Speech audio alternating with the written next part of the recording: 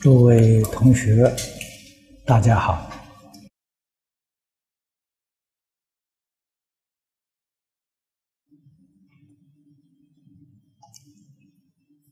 昨天讲到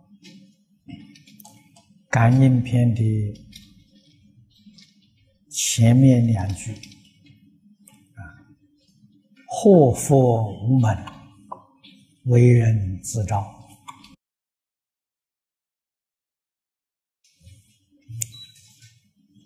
在汇篇里面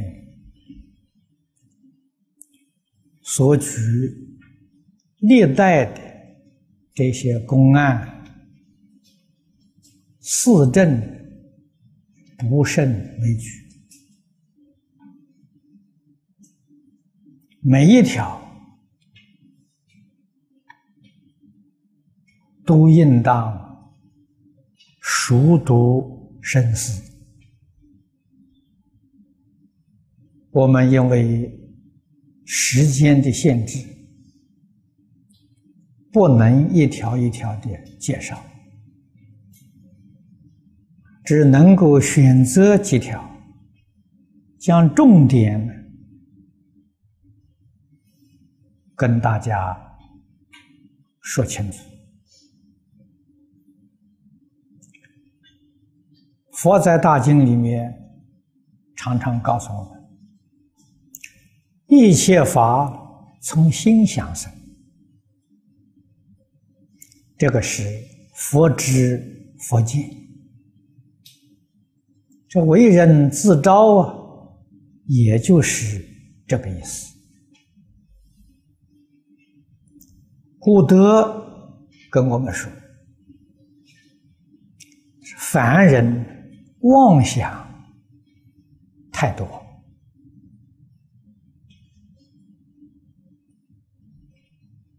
这许许多多的妄想，可以分为三类：过去的妄想、现在妄想跟未来妄想。常常想到过去，啊，过去的荣辱，过去跟一些人呢。所结的恩怨啊，悲欢离合这一类的，都是属于过去妄想，尤其是年岁大的人啊，总是想到他少壮时候的那些故事，跟年轻人呢一遍又一遍的重复。永远重复不完，啊，老故事，啊，这个是属于过去妄想。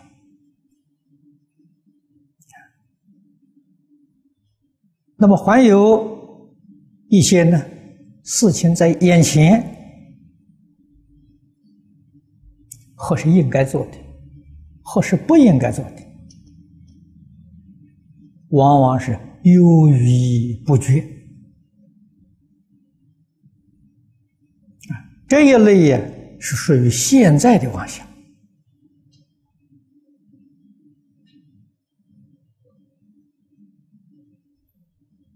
第三类是想将来啊，将来的事情，实在讲未可列料啊，有许多不可能的事情。还想得到，或是财富，或是地位，或是权势，那么这一类呀，是属于未来的妄想。这个三大类的妄想无量无边啊，念念它不中断的，一个妄念接着一个妄念。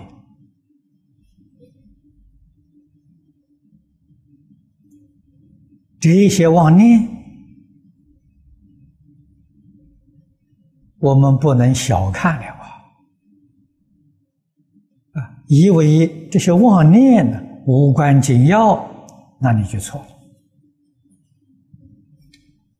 一个妄念就是一个业因，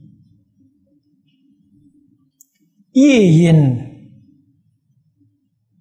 遇着缘，果报就现前。善念则有善报，恶念呢一定感到恶报。啊，善恶果报丝毫不爽。那么这个就是这一篇文章里面讲的吉凶祸福的根源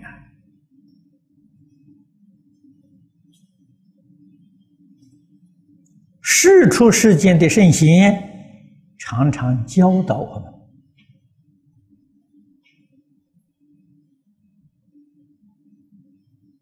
我们要能记住，要能深思。要能理解。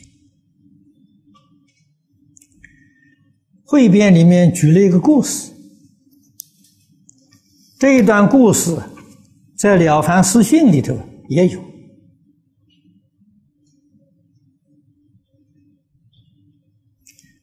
宋朝时候，有一个魏忠达，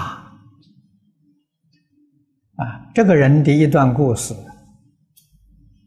传得很广。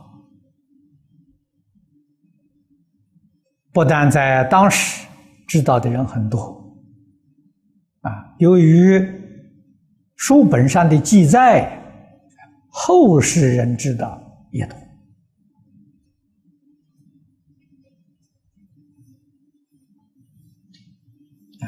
那么他当年当年在这个翰林院任职，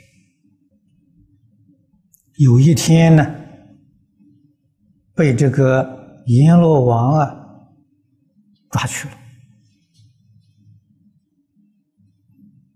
这个事情，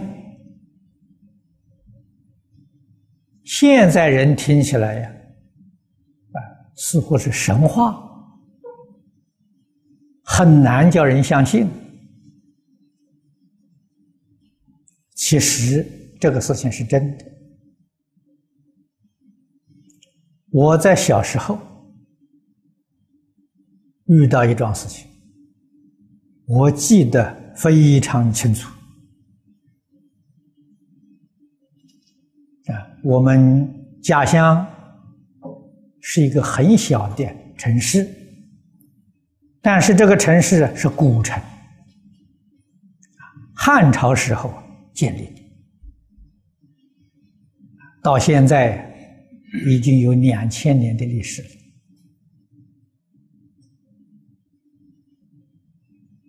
啊我小的时候，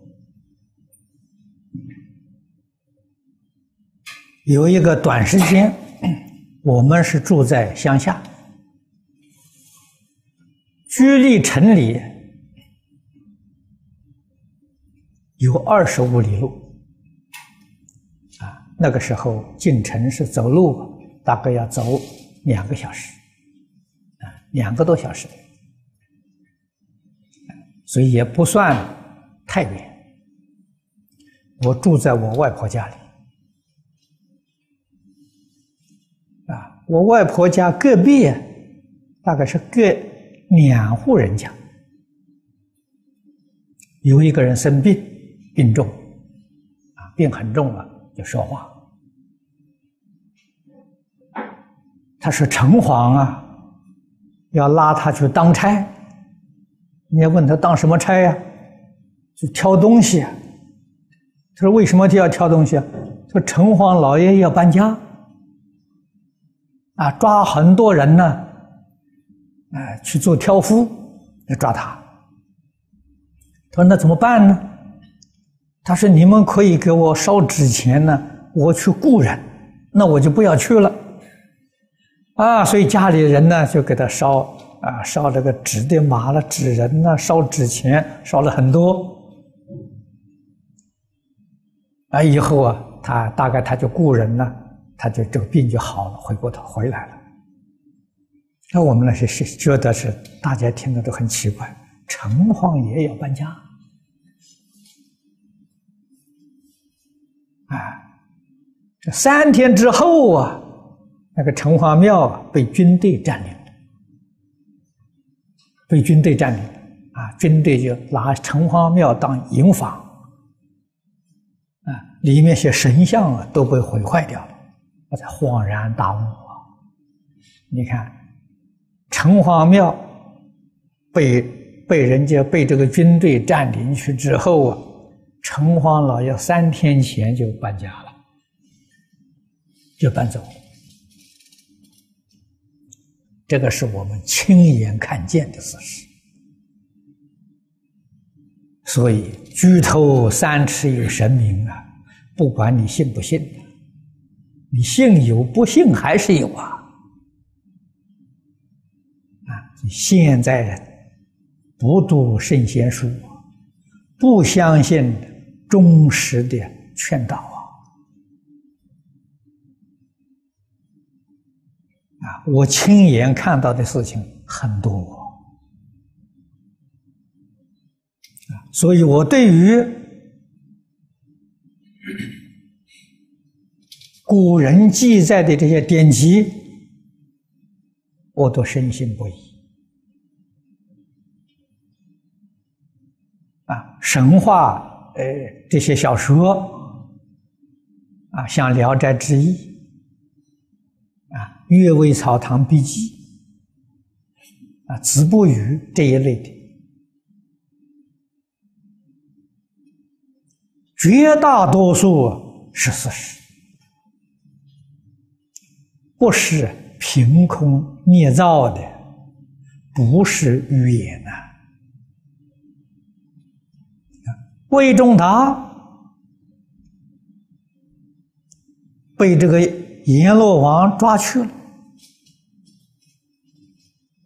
抓去之后啊，那个判官就调查他一生所造的善恶，结果他造那个善的那些案件呢。堆积如山的一大堆呀！啊，造的卧卧是堆积如山的，善呢只有一卷。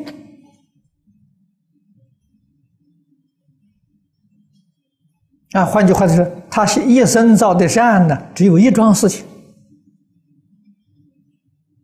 他看了这个情形之后，他就对判官讲：“他说我还不到四十岁呀。”我造的恶哪有这么多啊？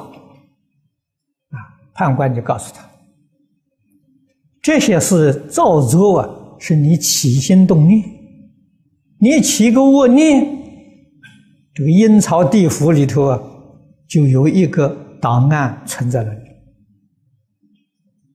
并不等待你造啊，啊，那你造了造作啊，你这个。罪就更重更深了，起一个恶念，那你就留了一个档案。那他就问，他说：“我那一个善的念头，那是什么呢？”啊，他是在这个之前那个善恶比较，那个恶念那么多，阎王就很生气了，啊，就非常生气，啊，然后阎王说。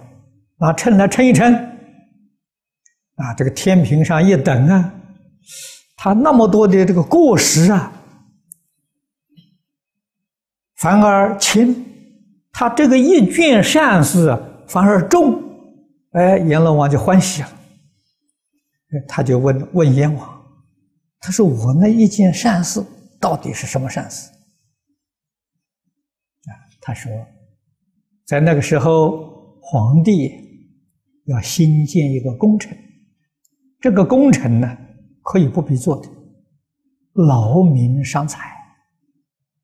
啊！他上了一个奏折，劝皇帝不要做。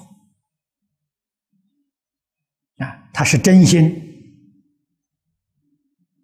啊，他真心呢上这个奏折，他说皇帝没有听呢，这皇帝如果听了啊，你的福报就大了。没天是你真心，你有这个念头，这一件善事，把你许许多多的恶事都压下去了。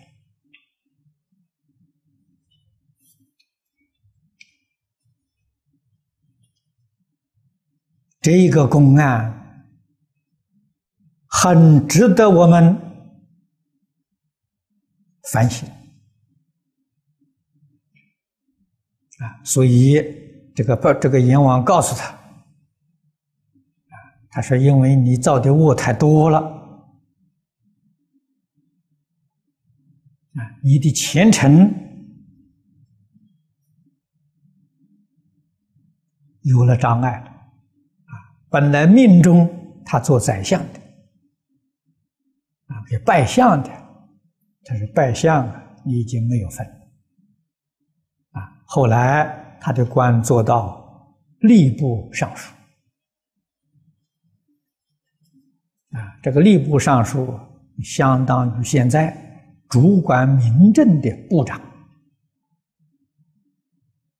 啊，这个这个像一般讲内政部长啊。做到这个地位，这是降了一级了啊！所以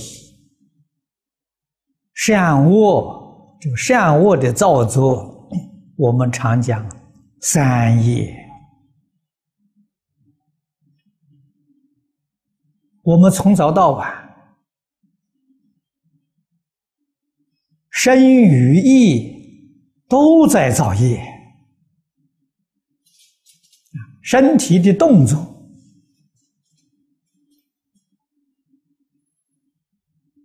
口里面的言语，心里头的念头，与实善相应的，是善；与实善相违背的，就是恶。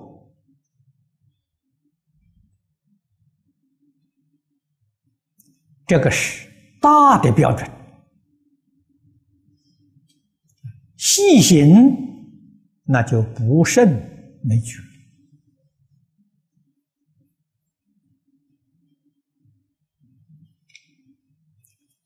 在佛法里面，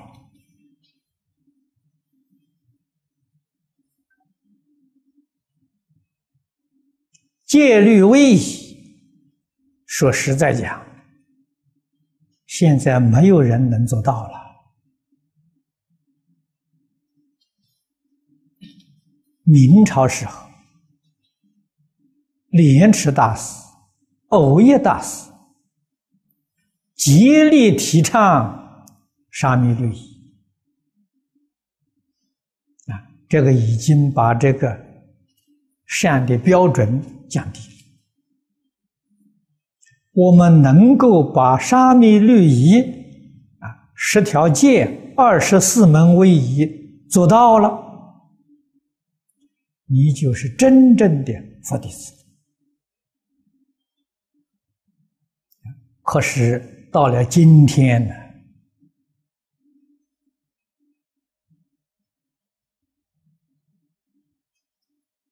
物质生活的水平上升了。道德的观念呢，堕落了，十戒、二十四门威仪也都做不到了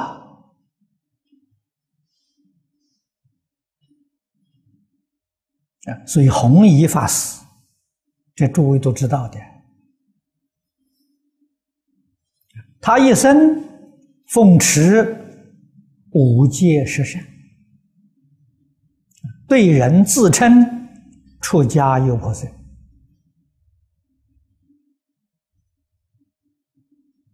这个人有德行，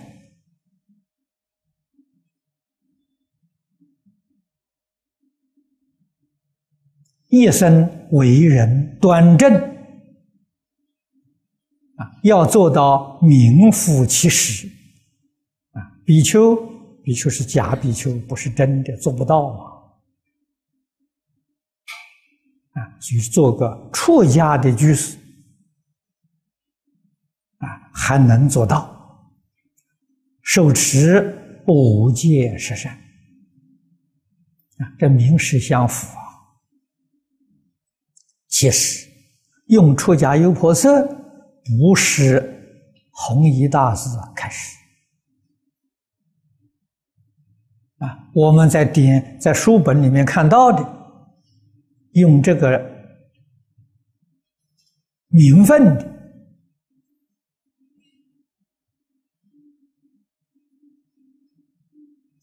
是偶叶大师的学生啊，偶叶大师的徒弟陈实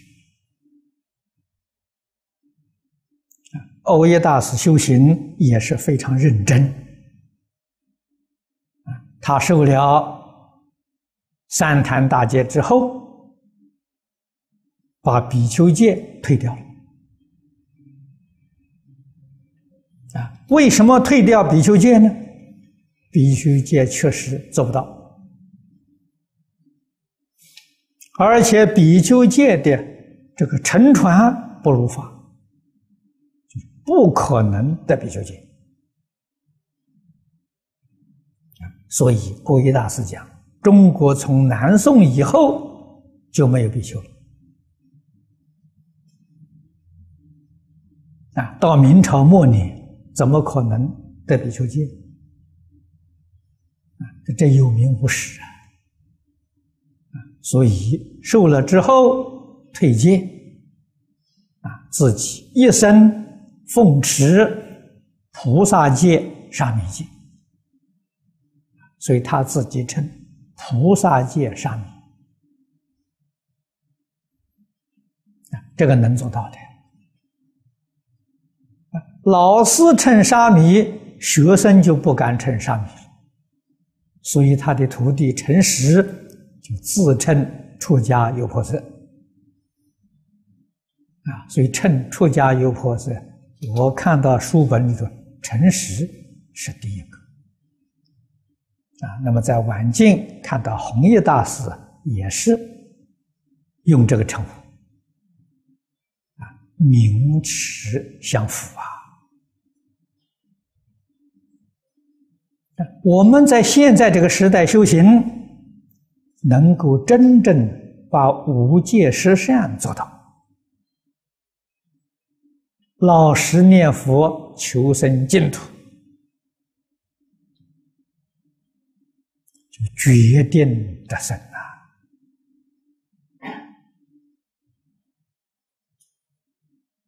啊！可是想生净土的人很多，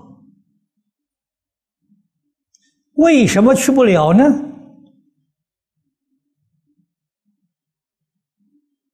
去不了，当然你有障碍嘛。障碍是什么呢？誓愿没有放下，这一条很重要啊！凡是真正求往生的人，要一切放下，决定不沾染。我们在这个世间，如果自己有缘分，能替社会。能替大众做一点好事，尽量去做，广结善缘，在佛法里面广结法缘啊！你看看近代虚云老和尚，我们大家都很熟悉。老和尚用他的法缘，用他的影响力。到处建立道场，帮助年轻出家修行人。道场建立之后就交掉了，从来不过问的。啊，这个是修大福报啊！我们应当学习。我们的影响力比不上老和尚。影响力薄弱。我们劝导许许多多有能力的同修发心啊，建小型道场嘛，啊，净宗学会现在全世界也有五六十个净宗学会了，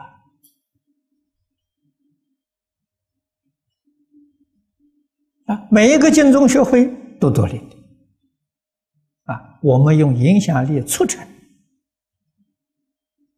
成就之后要不要过问？不过问。如果你还想过问，你还有牵挂，不能往生呐。彻底放下，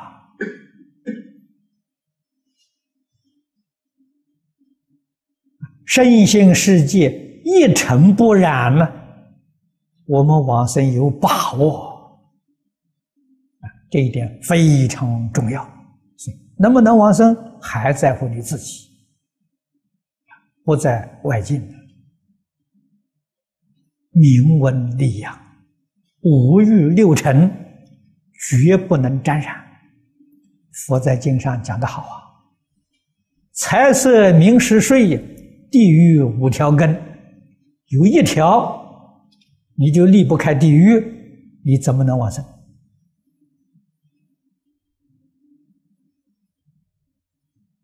这个要真正记住，不可以贪着。所以一生随缘而不攀缘，随缘欢喜，什么都好。啊，每一天吃饱穿得暖，一心向道。啊，我一生就做一桩事情。啊讲经说法，弘法利生，其他的一概不问。我一生没有道场，啊，一生也没有徒众。过去出家是馆长收的，不是我收的。啊，你看起的法名都是馆长起的，啊，不是我起的。啊，希望大家呢好好的修学。啊，我现在这么大的年岁了，啊，古人讲这该死的时候了，七十三、八十四，阎王不请自己去啊，还有什么好留念的呢？啊，一生不管人，不管事。不管钱，到老的时候还管，那就大错特错了。身心世界一切放下，活一天为佛菩萨工作一天。